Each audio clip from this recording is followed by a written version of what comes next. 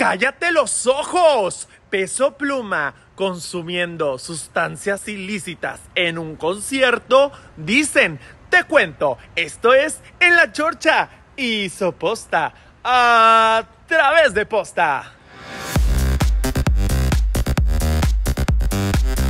De Peso Pluma, esto les va a gustar. Y es que sin duda el cantante de corridos bélicos es simplemente controversial. Ahora se hace viral un video donde se encuentra Peso Pluma en una presentación. No podemos asegurar lo que la gente en redes sociales comenta, que pues fue a consumir una sustancia pues ilegal. Lo que sí puedo asegurar es que si una persona de su equipo le da algo en un vaso, que yo creo que es como una bebida, él se agacha, eh, se queda un momento ya agachado, pero yo creo que hizo más bien gárgaras y aventó el líquido. Yo no creo que se esté drogando, como dice la gente, pero usted juzgue. Veamos las imágenes.